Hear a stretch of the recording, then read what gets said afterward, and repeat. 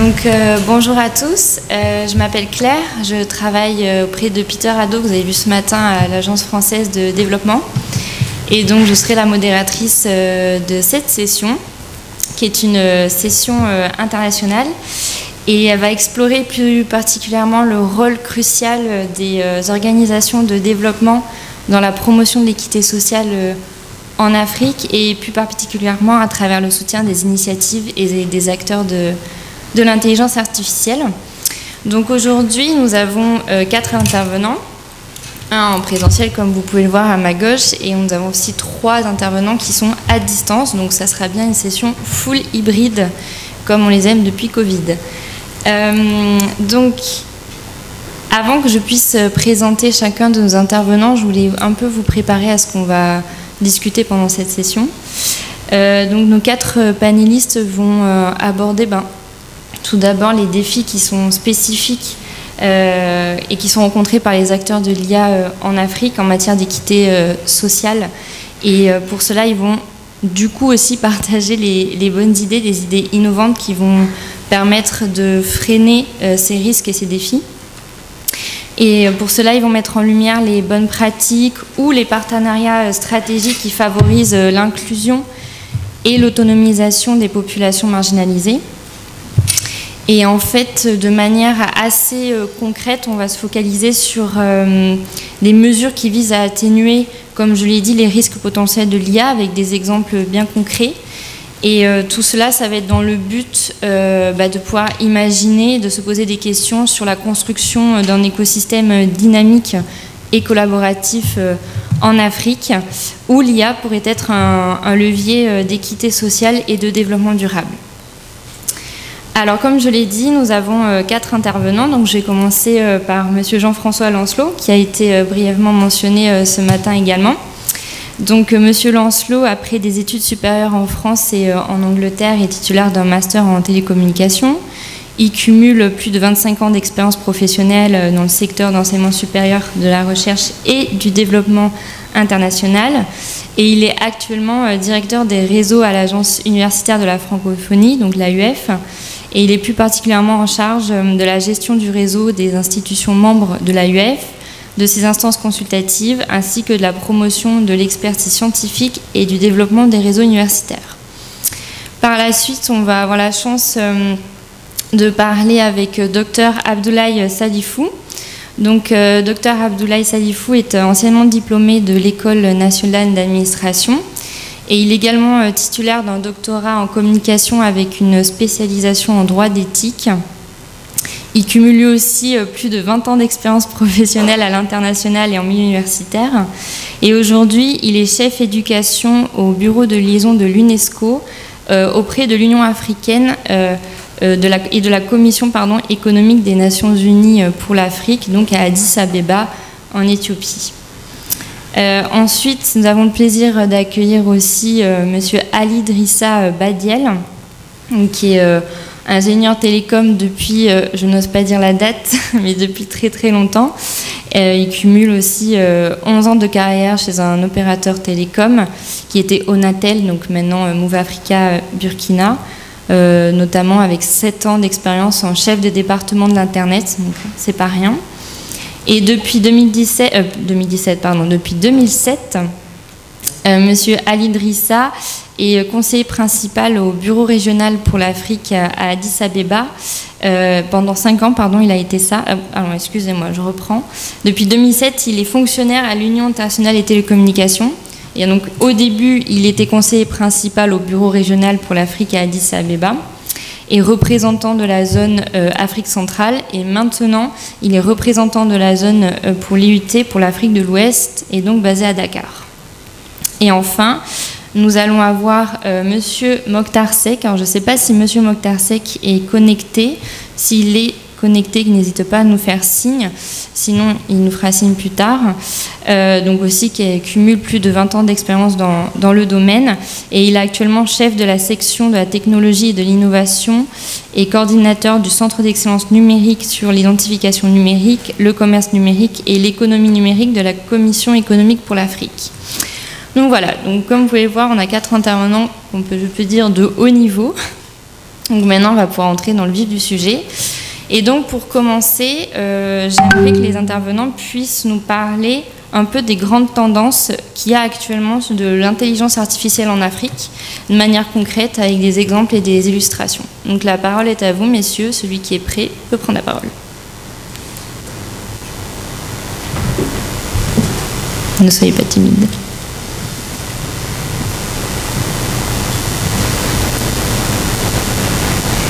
Docteur Abdoulaye. Allô, vous m'entendez? Oui, très très bien. Oui, moi j'ai une présentation. Ah. Autorisé à faire la présentation. Comme ça, c'est bon. Je ne sais pas comment, comment vous avez pensé le, le panel. Est-ce que ce sont des questions directes ou on a des présentations à, à montrer? Alors, ça serait plutôt des, des, échanges, en fait, des questions que l'on va se poser et euh, vous pouvez, auxquelles vous pouvez répondre au fur et à mesure. Donc, une des premières, c'était de savoir un peu pour euh, les tendances actuelles qu'il y a autour de l'intelligence artificielle, en Afrique notamment, et les défis qui sont associés. Alors, merci. Bonjour tout le monde. Bonjour. je ne sais pas si euh, Docteur Salifou veut commencer, sinon je peux éventuellement me jeter à l'eau, ça dépendra. Allez-y, monsieur allez-y. Merci beaucoup, euh, madame la modératrice. Alors, à propos des tendances euh, de l'intelligence artificielle en Afrique, je dirais que l'Afrique est à un stade d'adoption de tout ce qui est intelligence artificielle. Adoption de l'intelligence artificielle, et on a des des besoins tels que l'auto-apprentissage par la machine pour essayer d'automatiser un certain nombre de tâches répétitives. Et également au niveau des, États africains, les États africains de plus en plus ont, compris le besoin de se former à l'intelligence artificielle. Je vous donne juste euh, trois petits, petits exemples. Au Nigeria, par exemple, vous avez le Data Science Center, pour former des millions de jeunes euh, Nigériens en service de, données à l'horizon 2025, 2027, euh, pardon, donc euh, dans un horizon de 4 à 5 ans. Au Sénégal, vous avez également l'Institut des algorithmes du Sénégal et vous avez également Galsen AI, Galsen, donc un peu Sénégal à l'envers, AI, Artificial Intelligence, pour également la formation en intelligence artificielle. En Éthiopie, vous avez euh, Ethiopian Artificial Intelligence Institute qui a été créé depuis 2020. Euh, bon, pour vous dire que les pays africains ont compris le besoin de se former à l'intelligence artificielle, parce que l'intelligence artificielle et la science de données de façon générale, va être l'avenir pour le continent africain.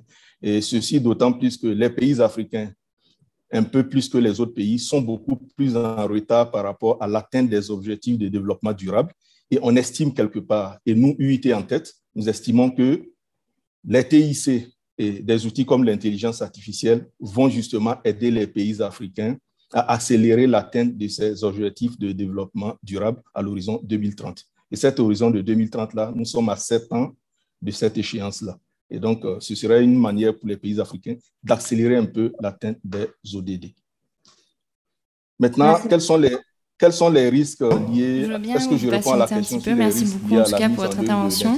Et j'aimerais demander euh, l'avis à M. Lancelot maintenant. Euh, qu'est-ce que vous mettez en place euh, à l'AUF pour des initiatives? Ben, L'IUT a parlé d'accompagner les gouvernements dans l'atteinte des objectifs durables, par exemple. Qu'est-ce que vous, de votre côté, vous avez pu identifier et vous avez pu mettre en place? Oui, alors je, ne suis pas spécialiste de l'intelligence artificielle. Hein. mon rôle à l'agence, et vous l'avez bien défini, est de mobiliser l'expertise et toute la science que peuvent nous produire notamment l'ensemble des établissements membres de l'agence. L'agence, pour ceux qui ne connaissent pas, c'est euh, la plus grande association d'universités euh, au monde avec plus de 1000 établissements d'enseignement supérieur recherche. Et nous développons des programmes de coopération euh, scientifique. Nous accompagnons les universités dans le développement et dans l'amélioration de l'enseignement supérieur et la recherche. Pour faire très court et très simple, hein, parce qu'après, nous comptons plus de 300, 300 projets, y compris des, grands projets. Euh, bon, alors, euh, par rapport aux, enjeux de l'IA en Afrique, les enjeux sont les mêmes partout, hein, que ce soit donc, dans les pays du Nord et dans les pays du Sud. il y a juste notamment peut-être euh, euh, les, besoins qui ne sont pas tout à fait, euh, les mêmes, puisque comment les situations, sont très contrastées. déjà entre donc, je parle au niveau francophone, hein, c'est-à-dire entre donc, les pays, pays du Nord, donc l'Europe et puis, et, puis l'Afrique. Mais quelque part, les préoccupations sont là. Et aujourd'hui, l'IA touche tous les secteurs, la santé, l'économie, donc l'éducation, et ça touche les secteurs donc, euh, en Europe, mais aussi, ou enfin au pays du Nord, mais aussi en, Afrique. Donc euh, euh, le problème aujourd'hui est, mondial. Donc peut-être qu'effectivement, et on en parlait tout à l'heure, je l'entendais notamment dans, l'atelier, il y avait deux ateliers auxquels j'ai participé. J'ai participé à l'atelier éducation où on a beaucoup parlé notamment d'enseignement supérieur, enfin de, formation à distance, et ensuite de, la donnée, où j'entendais qu'effectivement au niveau infrastructure, l'Afrique était peut-être un petit peu en retard, notamment pour euh, utiliser euh, donc, euh, les systèmes informatiques pour générer de l'IA. Effectivement, peut-être que le, problème est là. Quoi qu'il en soit, pour moi, les, tendances euh, et les enjeux sont les mêmes partout. Et je crois que, et c'est d'ailleurs le rôle de, l'agence, c'est qu'il faut mobiliser à la fois donc, euh, des spécialistes, à la fois des pays du Nord où les infrastructures sont vraiment développées, et euh, donc les pays du Sud et les experts, les spécialistes. J'entendais notamment les spécialistes qui travaillaient depuis 1987 sur, sur l'intelligence artificielle, donc c'est pas nouveau. Quelque part, voilà, en, en Afrique, on a des spécialistes qui travaillent sur ces notions, y compris au Nord, et je pense que euh, l'objectif serait effectivement de, euh, de, mobiliser, euh, de, de, faire coopérer notamment tous ces savoir-faire justement pour eh bien, bien mesurer les enjeux de l'IA et voir comment justement l'IA peut être un bénéfice à la fois pour l'ensemble des pays, des, des, pays francophones pour parler de la, la formation et l'enseignement supérieur recherche, évidemment, quand on parle d'IA, on parle évidemment de compétences. Et euh, il est certain qu'aujourd'hui, les universités, qu'elles soient au nord comme au sud, eh bien, doivent se doter et produire des compétences à la fois au niveau de l'enseignement, mais aussi donc produire des ingénieurs, produire des, chercheurs, donc euh, à cette euh, comment à cette intelligence artificielle ou non intelligence, puisque ce matin donc j'ai participé, enfin j'ai écouté les débats. Donc voilà, donc il y a, y a une prise de conscience et l'AUF bien là aussi à travers plusieurs solutions et on en reparlera tout à l'heure notamment puisqu'on parle parler des, risques et euh, ce que met, ce qu'a mis la UF en, place ces, euh, ces, dernières années. Merci beaucoup, euh, Monsieur Lancelot. donc oui, faire mobiliser, coopérer les savoir-faire, c'est une façon d'aborder l'intelligence artificielle parmi d'autres.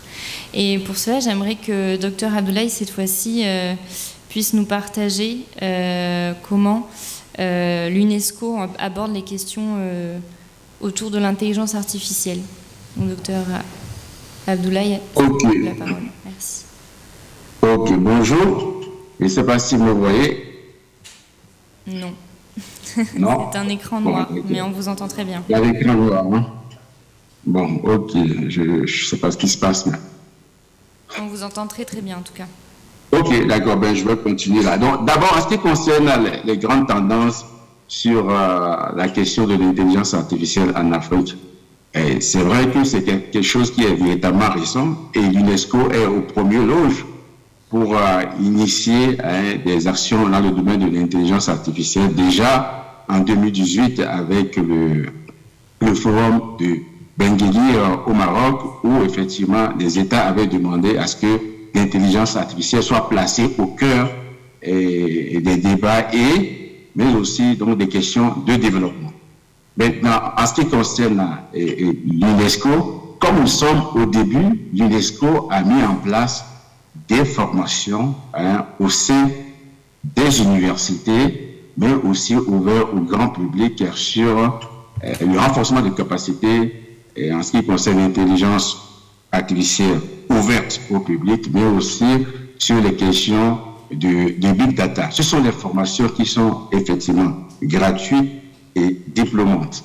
Maintenant, en dehors de cela, puisque nous sommes dans un processus qui, est pratiquement au début, donc la question donc, des compétences revient régulièrement. Et de ce point de vue-là, l'UNESCO soutient également la mise en place des chaires, hein, des chaires UNESCO ou renforcer des chaires qui existent déjà sur les questions de technologie, donc de l'information et des communications.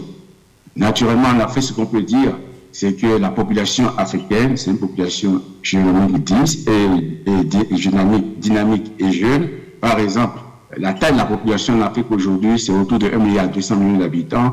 Pratiquement la moitié euh, est constituée donc de jeunes. Et ces jeunes-là, on lui a montré leurs compétences en utilisation, par exemple, des technologies mobiles. Et donc, on peut effectivement s'appuyer sur euh, leur savoir-faire en, utilisation des technologies mobiles. Et c'est pour cela que ce marché-là est non seulement un marché important pour les institutions de formation, mais aussi pour les GAFA, les grandes entreprises. Et c'est pour cela qu'on les retrouve maintenant euh, sur le continent. Alors, quels peuvent être les défis sur les questions de l'intelligence artificielle. D'abord, au, niveau de l'UNESCO, nous voyons l'intelligence artificielle sous deux angles, principalement sous l'angle des opportunités.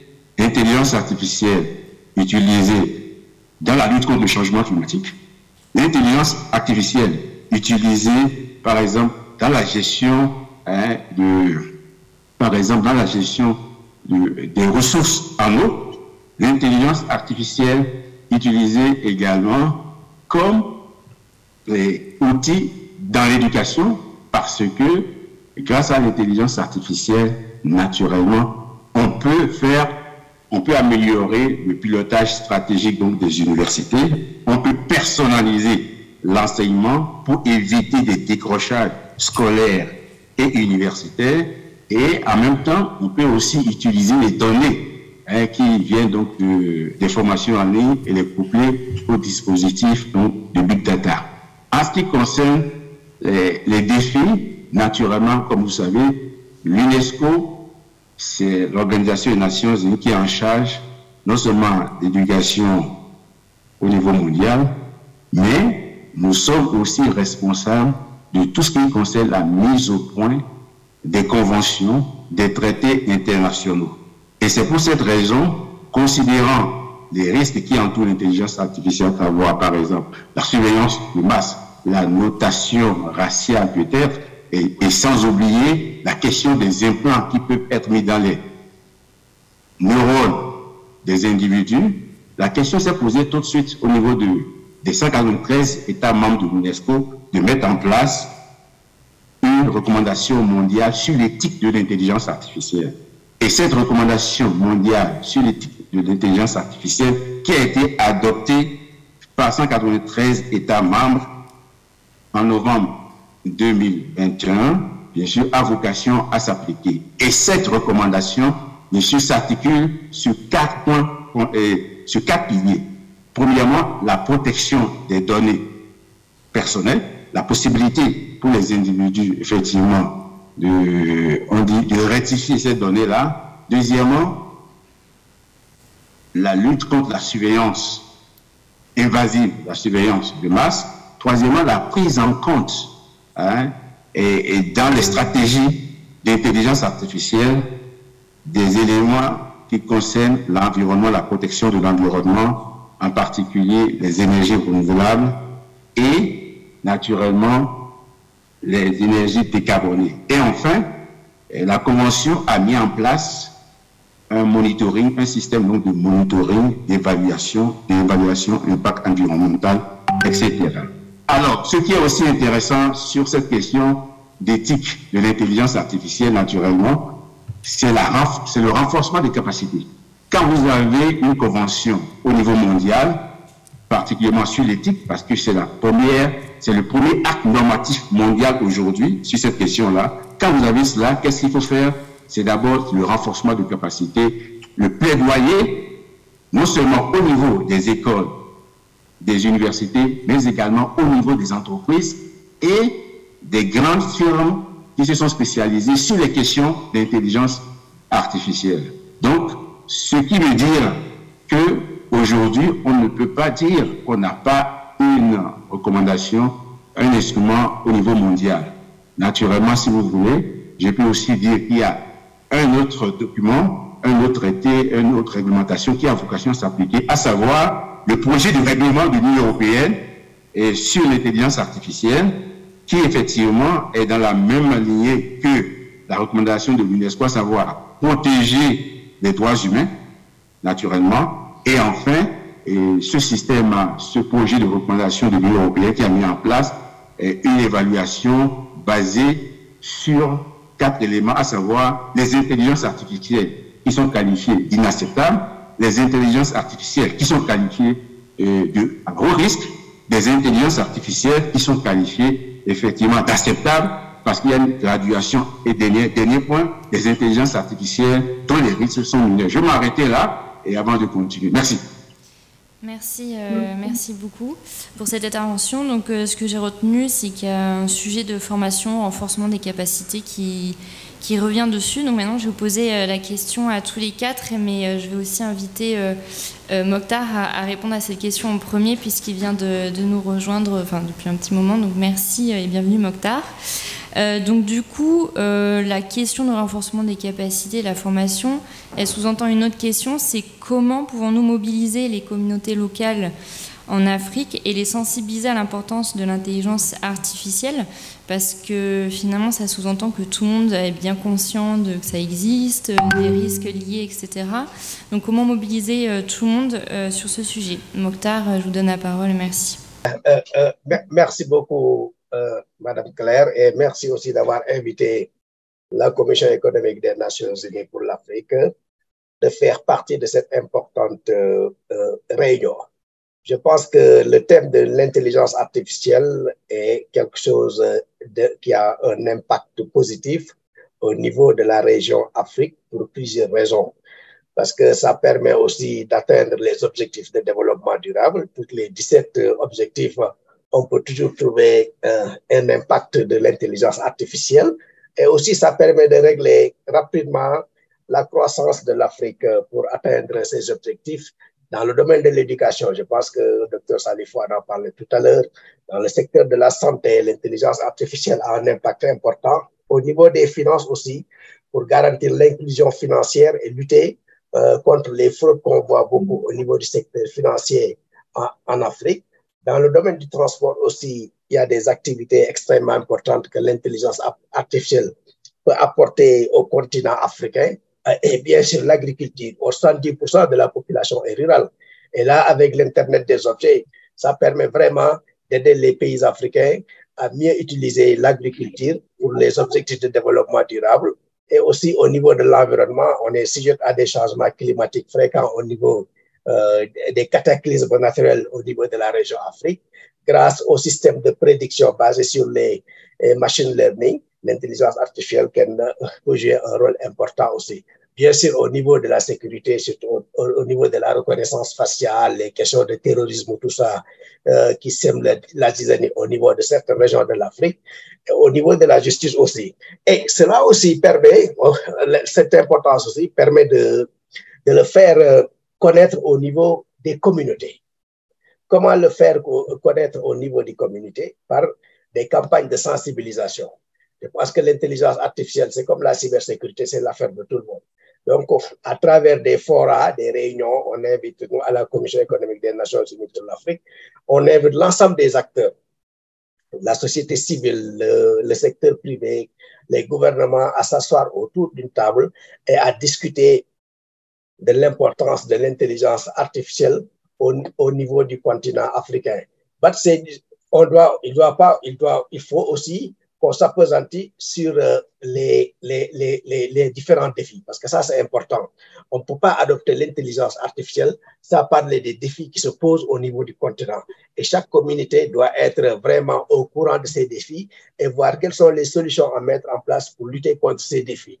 Par exemple, quand, on parle d'intelligence, il, y a il y a le défi de la connectivité en Afrique, hein, avec un, un, faible accès, 40% à peu près, euh, de la population connectée à Internet, avec les problèmes d'énergie aussi qu'on a dans la, dans, la région. Ça, c'est un grand défi qu'il faut relever.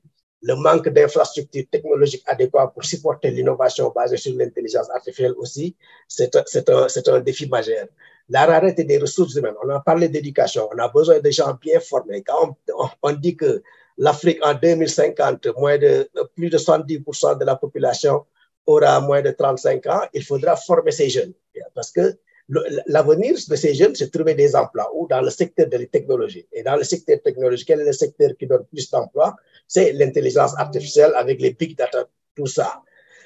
Et pour accéder aussi à ces emplois, il faut avoir les financements nécessaires, parce que souvent on a besoin de finances pour accéder à des emplois ou bien accéder à des projets ou à développer des projets. Ça, c'est un, un grand défi sur le continent africain. Et l'avantage de l'intelligence artificielle aussi, c'est que ça ne nécessite pas beaucoup de, de lourds investissements. Et il y a un manque de classification de l'intelligence artificielle au niveau du continent. Et bien sûr, les questions éthiques. Ah, est-ce que la machine va remplacer l'homme hein? l'histoire du chat, euh, GPT, GPT. Tout ça, c'est des questions très importantes qu'on doit discuter au niveau de la communauté pour euh, que les gens puissent tirer profit de l'intelligence artificielle et non d'être victimes de l'intelligence artificielle. C'est la raison pour laquelle à la Commission économique des Nations Unies pour l'Afrique, nous appuyons les États membres dans plusieurs domaines pour euh, une meilleure utilisation de l'intelligence artificielle nous avons l'année dernière mis en place le Centre africain de recherche sur l'intelligence artificielle qui est basé au Congo-Brazzaville. Et ce centre euh, s'occupe est orienté dans plusieurs activités de recherche, de, de développement, de partenariat, d'appui aux startups, à la communauté, pour que vraiment chacun dans son domaine d'activité puisse utiliser euh, l'intelligence artificielle comme un moyen d'accroître sa, sa compétitivité on, parle aussi de règlement. Est-ce qu'il y a un règlement au niveau de, la, de, l'intelligence artificielle, au niveau des États, pour permettre à la communauté de bien l'utiliser? Là aussi, on, travaille sur la réglementation. Quand on parle des questions... Oui. Euh, bon, j'ai compris. Quand on parle des questions d'éthique, c'est extrêmement important. Je pense qu'il faudra un, comment on l'appelle euh, en, français, un engagement inclusif de l'ensemble de la population pour que ces problèmes d'intelligence artificielle puissent être discutés pour que les gens puissent connaître les avantages, les opportunités et les grands défis qui se posent pour que l'Afrique puisse bénéficier, bénéficier de l'intelligence artificielle pour un développement durable pour le bien-être des populations. Merci. Euh, alors, je peut-être aussi euh, rebondir sur cet engagement inclusif, mobiliser les communautés. On a parlé des communautés au plus, au plus proche euh, euh, du sens du terme, pardon, mais aussi des communautés de recherche. voilà, UF, de votre côté, qu'est-ce que qu'est-ce que vous avez pu mettre en place pour, pour créer cette mobilisation autour de l'intelligence artificielle? Alors, vu les, les les, risques, hein, parce qu'on parlait notamment des, risques tout à l'heure, les risques éthiques, juridiques, et je ne rentrerai pas dans les détails puisqu'il y a plus spécialistes que moi et euh, l'atteinte notamment aux droits fondamentaux, le, ce, risque aussi de l'IA. Mm. Je crois qu'il est important euh, et je pense que ça réaffirme encore euh, donc le besoin d'interdisciplinarité autour de l'IA. Et ça rejoint notamment la mobilisation de l'expertise, notamment de plusieurs disciplines. Et ça, je pense que c'est important. Et il est important notamment pour les gouvernements africains, comme d'autres, hein, et on le voit en Europe, hein, ils mettent des cadres contraignants à l'usage de l'IA. Et je pense que les gouvernements africains doivent aussi donc prendre en considération ça en se mobilisant et en s'appuyant notamment sur l'expertise, l'expertise pour justement mettre des cadres d'utilisation euh, de, de, l'IA. Alors l'AUF de, de, son côté, eh bien, euh, euh, l'a compris à travers une enquête internationale qui a été lancée en 2000, 2020 auprès de plus de, 15 000 interlocuteurs. Ça allait notamment de présidents d'établissements recteurs d'université, des politiques, des étudiants. Et euh, donc, euh, dans cette enquête internationale qu'on appelle, vous pouvez trouver ça sur notre site, donc qui s'appelle le Livre blanc de la francophonie scientifique, eh bien, euh, une prise de conscience, notamment de l'IA et justement de la mobilisation d'un certain nombre de chercheurs, d'établissements sur bien comment, euh, comment s'approprier, s'approprier l'UA. Et comment la UF donc, euh, a essayé d'y répondre, hein, euh, donc au-delà de, ce cadre, cadre politique, eh bien, sa première initiative a été en 2022 d'organiser les assises de la francophonie scientifique qui se sont organisées au Caire, où nous avons accueilli plus de 300 spécialistes de différentes disciplines. Alors ça tournait autour de de cinq disciplines, hein, les sciences de la santé, les sciences de l'ingénieur, les sciences humaines, les sciences sociales et les sciences de gestion. Et euh, donc on y a mis au cœur l'IA. Et pendant 36 heures exactement, eh bien, on a discuté donc, avec l'ensemble de ces disciplines eh bien, de l'IA, des effets de l'IA, ce que l'IA pouvait leur apporter et euh, des solutions justement, quel que soit donc le nord, le sud, puisque donc il y avait une grosse mixité, il y avait aussi des professionnels, ont donc euh, été invités donc autour de la table un certain nombre de professionnels pour justement trouver des solutions, comment s'approprier l'IA pour évidemment, alors on peut parler des objectifs du développement durable, un, un monde meilleur, mais aussi pour euh, eh bien se prémunir des dérives de, des dérives de l'IA. Alors on a eu, alors il y a un document qui est, qui est prévu qu'on qu'on va bientôt publier, qui va reprendre l'ensemble des conclusions de, ces ateliers, mais on voit bien que euh, autour, par exemple, de la discipline de la santé, par exemple, eh bien, euh, il y a eu beaucoup, notamment d'alertes, mais on voit bien aussi ce que peut apporter euh, l'IA dans le domaine dans le domaine de la santé, dans le domaine des sciences de gestion aussi. Donc euh, il y a eu beaucoup notamment de, propositions qui ont été faites et de risques. Et quand on parle de cadre juridique, je pense que les sciences de gestion, notamment dans le domaine des entreprises euh, et notamment les spécialistes du domaine de sciences de gestion, peuvent apporter notamment des conseils, des soutiens au niveau des entreprises justement pour euh, l'utilisation de, cette technologie. Donc on, on, a commencé par cette initiative, c'est-à-dire de mettre un ensemble de spécialistes autour de la table pour discuter autour de disciplines et ce que peut l'IA, justement, et mettre au cœur l'IA. Ensuite, alors, et on, l'a, euh, on a bien compris qu'il y avait notamment un, besoin de mobilisation de l'expertise. Nous avons euh, lancé le premier réseau euh, francophone de recherche en intelligence artificielle aussi, donc, qui regroupe aujourd'hui à peu près 26, une trentaine, trentaine d'établissements membres, pour non pas trouver des solutions technologiques, je, je, le dis bien, mais plutôt pour partager leur expérience, avoir des échanges, notamment si c'est ce qui est dans leur, université. Ce ne sont pas forcément des spécialistes de l'IA, ce sont donc euh, des représentants d'universités qui souhaitaient justement se mobiliser et euh, prendre en considération l'IA. Et donc ce réseau est assez jeune puisqu'il a, six mois. Hein. nous allons mettre en place d'ailleurs le, site internet et il pourra notamment accueillir d'autres membres. Mais c'est un peu aussi une réponse de l'AUF à cette préoccupation autour de l'IA. Et puis je finirai par... alors, il y, a un autre contexte. Je parlais notamment de cadre politique. Euh, L'AUF a fait signer par 40 euh, euh, ministres d'enseignement supérieur recherche francophone, donc le manifeste de la francophonie scientifique, qui est quelque part un, cadre de travail, un espace de travail dans lequel ce sont, vont s'investir ces États, ces pays, autour évidemment de, la francophonie scientifique, hein, donc notion portée par l'agence, mais aussi autour d'un certain nombre de préoccupations, et l'IA en fait partie. Quand on regarde notamment, euh, donc, et quand on lit ce manifeste, eh bien, on voit bien que comment il faut que ces États, notamment, se réunissent et partagent notamment les mêmes ambitions et imposent les mêmes règles en matière d'intelligence artificielle. Et là aussi, on n'a pas que des informaticiens ou des ingénieurs en informatique, on a de toutes les disciplines. Et quand on parle des risques éthiques, juridiques, mais aussi informatiques, je vais parler de cybersécurité, je crois que toutes ces disciplines, justement, doivent être autour de la table pour discuter et mettre en place un cadre. Et ce cadre, eh bien, l'AUF l'a quelque part suscité, euh, accompagné par euh, ce manifeste qui ne couvre pas évidemment que les questions d'IA, hein. la, mobilité, la recherche, il y a beaucoup d'axes qui seront traités, qui sont traités dans ce manifeste. Mais on sent qu'il y a une mobilisation des pays autour de ces questions. Merci beaucoup, euh, Monsieur Lancelot. Donc ça tombe très bien, ça fait ma transition autour de la mobilisation euh, des gouvernements autour euh, de l'IA. Et cette fois-ci, j'aimerais m'adresser à Monsieur euh, Badiel, s'il accepte bien, et justement de parler un peu de quel est le rôle des gouvernements africains, enfin quel rôle devraient jouer les gouvernements africains pour soutenir l'émergence d'un d'un environnement finalement que propice à l'IA en faveur d'une équité sociale. Et surtout aussi, la, seconde question qui est un peu sous-jacente, c'est comment les organisations de développement peuvent-elles accompagner euh, ces gouvernements de manière efficace? Merci, Monsieur Badiel. Merci beaucoup, Madame la modératrice. Je pense que le premier rôle des gouvernants, c'est d'abord de former les citoyens euh, à l'intelligence artificielle, c'est-à-dire former une masse critique d'acteurs capables de piloter l'adoption de l'intelligence artificielle par les pays.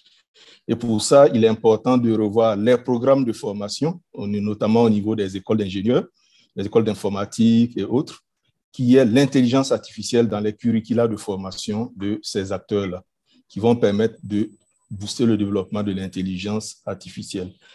Et en plus de ça, ceux qui sont déjà en activité, c'est-à-dire les personnes déjà en activité et qui ont peut-être fait les, études quelques années plus tôt où l'intelligence artificielle n'était pas encore répandue, il va falloir peut-être mettre en place des programmes de recyclage de ces personnes-là, voilà, pour que ces personnes-là ne, ne, soient pas délaissées pour compte.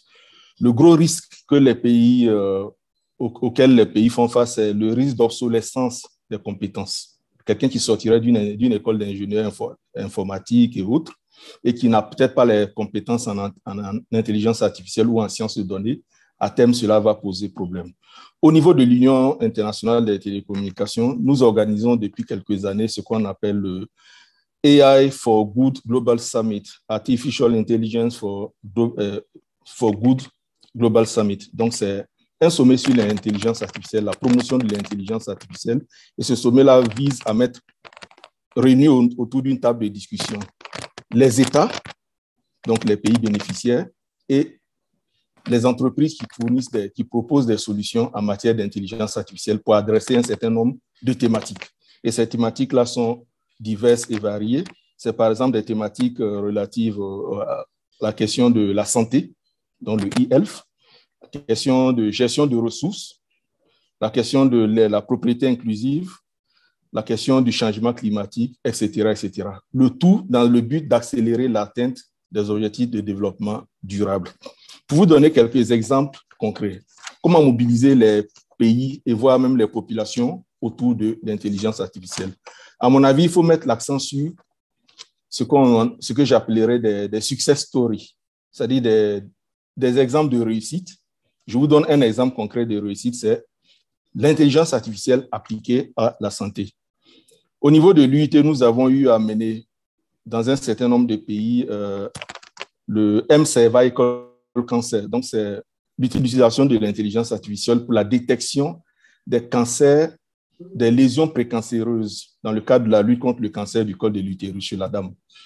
Et grâce à un outil d'IA, une fois les clichés pris au niveau du cancer, euh, au niveau du col de l'utérus. Cet outil d'intelligence artificielle permet d'analyser les lésions cancéreuses et de déterminer si la patiente a un risque de cancer du col de l'utérus. Et donc, du coup, les médecins peuvent intervenir après donc, cette première phase d'analyse. Deuxième exemple, c'est l'utilisation de l'intelligence artificielle pour le diagnostic de la rétinopathie diabétique. Ce projet-là, nous le conduisons ici au Sénégal. Donc, avec euh, l'utilisation d'un rétinographe numérique, on photographie la rétine des patients potentiels et l'outil d'intelligence artificielle permet d'analyser donc cette, image de la rétine et pour déterminer s'il y a des lésions liées par exemple au diabète et qui peuvent entraîner la cécité du patient. Ce projet-là, il a cours ici au Sénégal et nous sommes, nous sommes en phase pilote au niveau de deux cliniques, euh, deux hôpitaux publics de, Dakar, notamment l'hôpital Philippe Maguilène Senghor et l'hôpital Abdulaziz Si Dabak des Parcelles Asseni. Nous sommes donc au stade d'évaluation de cette première phase du projet. Et une fois la première phase est concluante, ce projet pourra donc être envisagé à l'échelle au niveau du Sénégal et même pourquoi pas répliqué dans d'autres pays africains. Donc, en un mot comme en mille, la meilleure façon de mobiliser quelqu'un, c'est de le mobiliser autour de ses intérêts. Et si la population voit un intérêt dans l'intelligence artificielle pour résoudre des problèmes concrets, des problèmes de santé ou d'éducation, comme certains de mes prédécesseurs ont eu à le dire, notamment l'UNESCO, la CEA, etc., cela va permettre donc l'adhésion et des pays et des populations à l'intelligence artificielle. Je m'en arrête, là. Merci, euh, merci beaucoup, euh, Monsieur Badiel, euh, pour le partage de, ces initiatives au sein de l'ITU. Euh, j'aimerais me tourner vers euh, docteur euh, Abdoulaye Salifou aussi, pour qu'il puisse un peu nous dire comment, quelles approches les novatrices, les organisations de, développement pourraient-elles promouvoir pour soutenir les, initiatives d'intelligence artificielle, mais tout en garantissant leur durabilité à long terme. voilà, docteur Abdoulaye. Merci, Madame Claire. au niveau de l'UNESCO, je vais prendre deux exemples concrets. Au niveau du bassin du lac Tchad, par exemple, euh, il y a le Centre international sur les technologies spatiales au service du patrimoine culturel qui a renforcé les compétences hein, et dans cette région-là autour d'un projet qui est très important pour nous, le projet Biopalt, qui aide les États à préparer leur candidature en vue de la création d'une réserve de biosphère transfrontalière dans le bassin du lac Tchad. Comme vous savez, le, lac Tchad, c'est un lac qui a plus ou moins de difficultés et il y a toute une communauté donc de vie autour. Donc la question s'est posée de faire en sorte que comment on peut faire une surveillance de tout ce qui concerne l'agriculture autour donc de ce, de ce bassin-là. Deuxième exemple concret qu'on peut prendre, toujours en ce qui concerne ce, lac-là, et, l'UNESCO a, a, mis en, place le, le géoserveur GEWADI, qui est très bien connu, qui permet par exemple d'estimer en temps réel les précipitations dans le monde entier. Ce géoserveur GEWADI hein, est utilisé dans la région Afrique pour la gestion des urgences d'aléas hydrauliques tels que les inondations, les sécheresses, des phénomènes météorologiques extrêmes. Par exemple, les services d'hydrologie, même plus loin aussi en, Namibie. Alors, qu'est-ce qu'on peut aussi euh, trouver très concret? C'est lorsque des capteurs hein, sont utilisés dans l'agriculture pour aider les exploitants à surveiller leurs récoltes et leurs élevages. L'agriculture constitue la principale activité économique dans de nombreuses biosphères de l'UNESCO. Alors, plus fondamentalement, comme vous le savez très bien, l'UNESCO travaille avec les États membres. Et nous travaillons à ce que les stratégies d'intelligence, les politiques d'intelligence artificielle soient adoptées par les États. Si ce n'est pas adopté par les États, on n'allons pas progresser. C'est pour cela que dès 2018, et bien encore, l'UNESCO a organisé une série de conférences mondiales et les Mobile Learning Week qui sont focalisées sur la thématique donc de l'intelligence artificielle. Et comme je l'ai dit en entrée, le point culminant, c'est cette recommandation internationale sur l'éthique de l'intelligence artificielle qui promeut une intelligence artificielle en faveur des droits humains, du développement durable, tout en alertant, parce que l'intelligence artificielle, c'est vrai, ça a beaucoup de risques et de menaces. Et aujourd'hui, quelqu'un a parlé donc tout à l'heure donc de cyber et sécurité, l'intelligence artificielle est déjà en avance de la cybersécurité. Donc, pas le jeu de big data, de machine learning et de deep learning. Et c'est pour cette raison que cette euh, recommandation, que ce soit au niveau des universités, je pense que c'est le premier cadre, on va dire, euh, cadre réglementaire contraignant. Parce que quand on n'a pas un cadre réglementaire contraignant où l'État doit rendre compte au niveau donc des grandes organisations internationales, il y a un problème. Donc, nous nous militons, nous nous soutenons effectivement que ce cadre-là soit popularisé, divulgué, que ce cadre soit approprié aussi bien par les universités que par le monde socio-économique. Est-ce que vous voyez? Voilà comment nous nous abordons cette question-là, toujours en lien avec les ODD, comme on a dit les collègues de l'UIT, les collègues de, de la Commission économique des États et des, Nations les Nations Unies pour l'Afrique et naturellement par notre collègue de, de, l'AUF. Et en ce qui concerne euh, le monde scientifique, il faut le dire clairement, pour, euh, pour l'UNESCO, c'est clair, la compétence des talents se déroule au sein donc des universités. Et, nous militons pour une intelligence artificielle inclusive, nous militons pour une intelligence artificielle effectivement qui va permettre de, faire en sorte que les populations qui sont à la base, hein, qui ne savent pas trop, parce qu'ils utilisent déjà les, smartphones, ces populations-là voient effectivement les intérêts de cette technologie-là. Mais derrière l'opacité des algorithmes, il y a ces questions, par exemple, du fichage, il y a ces questions de surveillance massive et invasive, il y a ces questions d'implants à placer dans les têtes des humains et du sorte que, effectivement, les machines, à terme, risquent de prendre le contrôle des humains. Donc, quelles sont les limites hein, à l'usage de l'intelligence artificielle? Toutes ces questions-là sont abordées par la recommandation mondiale de l'UNESCO sur l'éthique de l'intelligence artificielle. Merci. Merci, euh, merci beaucoup, docteur Abdoulaye Salifou. Alors, on m'a fait signe qu'on n'avait plus beaucoup de temps, mais du coup, j'aimerais utiliser ce temps pour, euh, pour ben, avoir vos questions. Donc, euh, si j'ai la permission de prendre deux, ou trois petites questions, deux, d'accord, deux questions, s'il vous plaît, la parole est à vous. Merci, oui. Une question. Est-ce qu'il y aura une deuxième question éventuellement? Voilà. Je ne sais pas si le micro. C'est pour Jean Chrétien.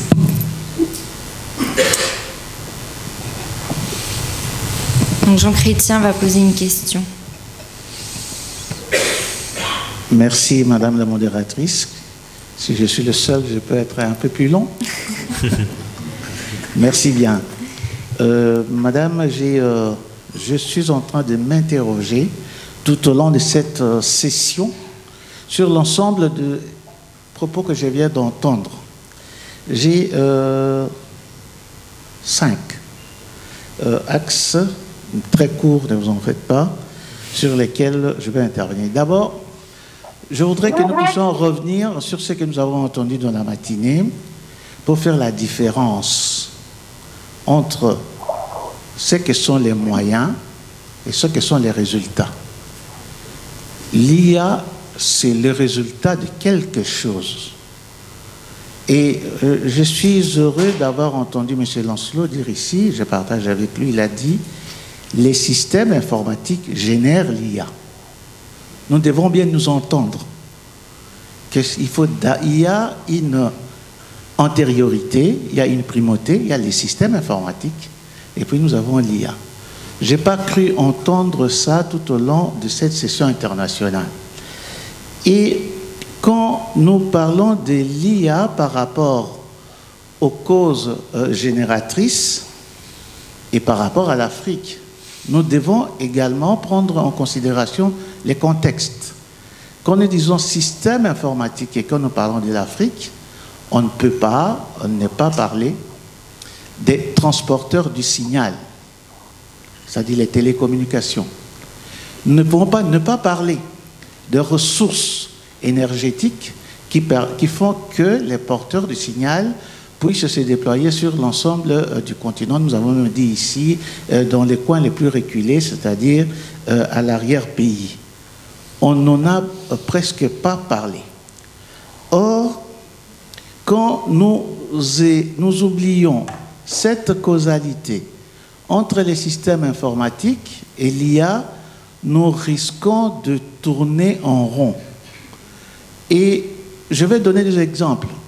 Quand je suis euh, ce que dit euh, notre collègue de l'UNESCO, je crois entendre que l'UNESCO ne vient de se réveiller qu'il y a deux ans.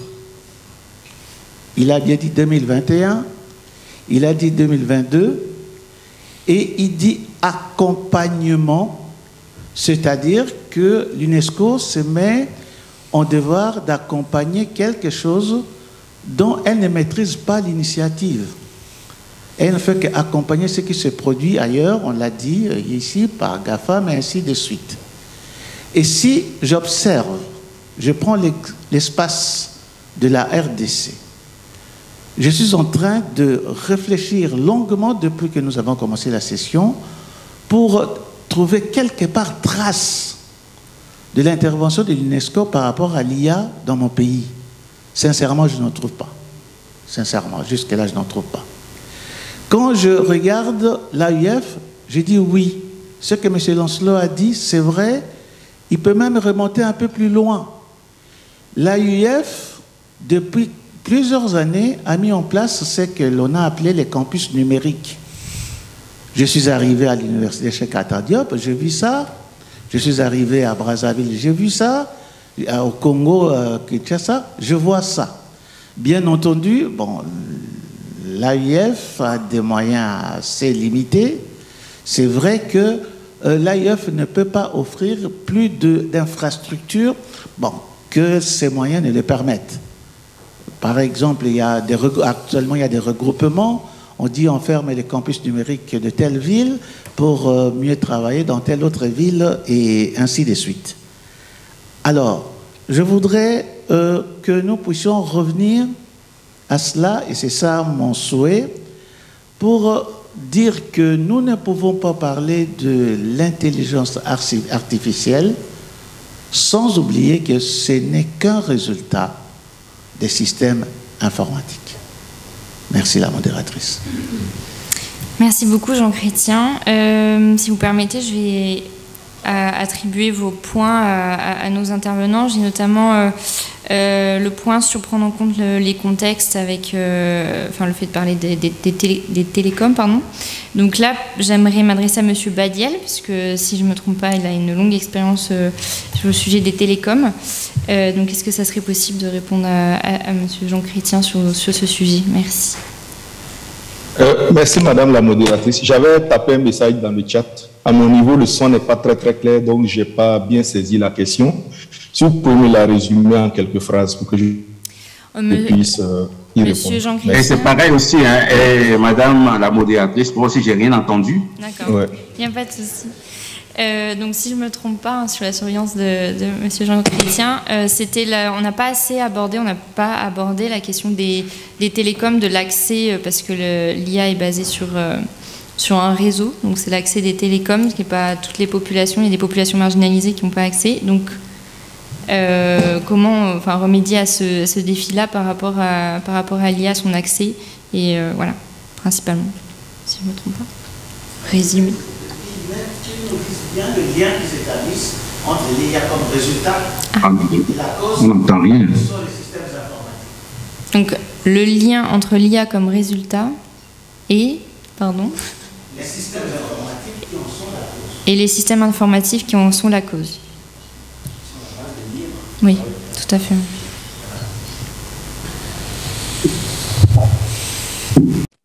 Alors, merci.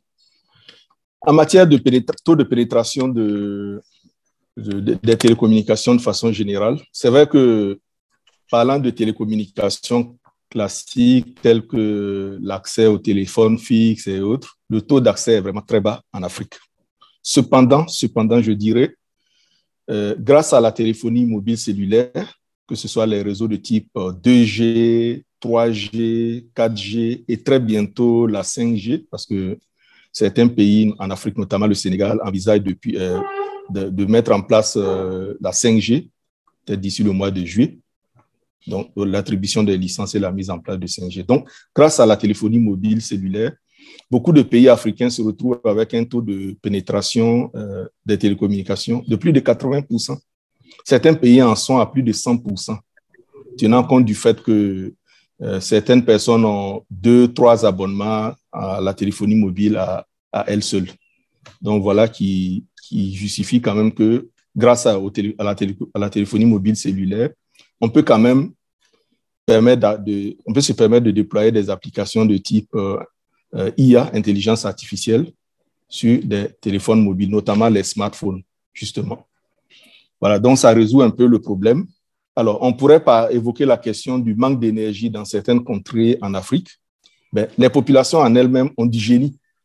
Même dans les localités où il n'y a pas d'électricité, de, de, grâce à des groupes électro, un système de groupes électrogènes, voire de plaques solaires portatives, les populations arrivent à recharger leur téléphone portable. J'en ai vu dans des villages ici au Sénégal, j'en ai vu euh, euh, chez moi au Burkina Faso, en Côte d'Ivoire, etc. Bon, pour vous dire que là n'est pas tellement le problème.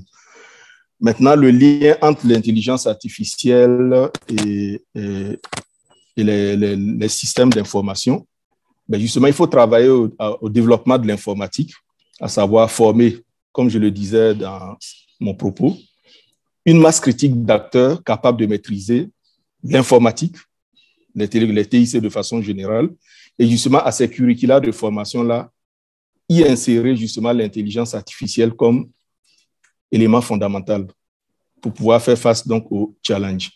Sinon, il va arriver un moment donné où les, les ressources humaines qui seront mises sur la, la, la, place du marché pour embauche, ces ressources humaines-là peuvent s'avérer obsolètes parce que justement n'ayant pas eu la chance d'être formés à l'intelligence artificielle.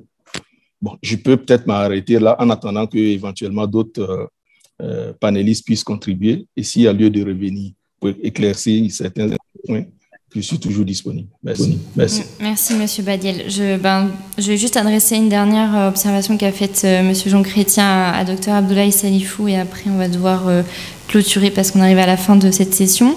Donc, Dr Abdoulaye Salifou, c'était plus une observation qu'une question, mais je pense qu'on peut y rebondir dessus.